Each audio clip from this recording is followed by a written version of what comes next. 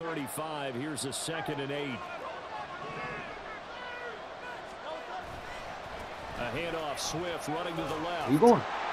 You He was able to shed one tackle, but could not get away from there. They'll get to the line here, but remember, it's also third down.